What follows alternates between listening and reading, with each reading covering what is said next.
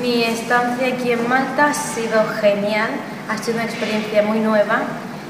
El idioma, mm, si soy sincera, el idioma...